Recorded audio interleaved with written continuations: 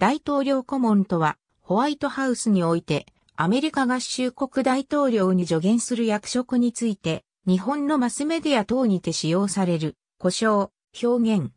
全く異なる2種類の役職である法的な問題についての顧問である、カウンセル・ツー・ザ・プレジデント政治的な問題についての顧問である、上級顧問に大きく分けられる。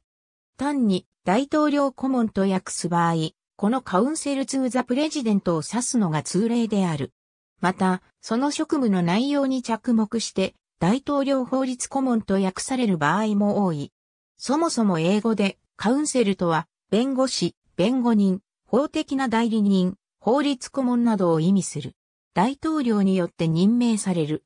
その役割は大統領やホワイトハウスに関するすべての法的な問題について大統領へ助言することである。この役職は1943年に創設され、次に挙げる事項について大統領に助言する責任を負う。さらに、この役職は次に挙げる事項についても大統領を補助する。また、司法省へのホワイトハウス側の窓口でもある。大統領へ法的な助言を提供する役職であるものの、あくまでも大統領の公的な範囲内においてのみであるので、大統領の個人的な弁護士としては活動することを認められていない。それゆえ、弁護士と依頼人との間における特権、義務の範囲について論争が生じている。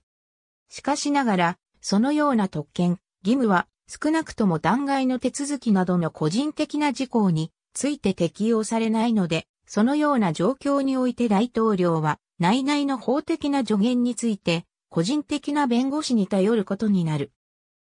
もともとシニアアドバイザーとはアメリカ合衆国連邦政府の様々な役職に使用される肩書きである。アメリカ合衆国大統領行政府においては、二つの異なる範囲の役職を指して使用されてきた。ありがとうございます。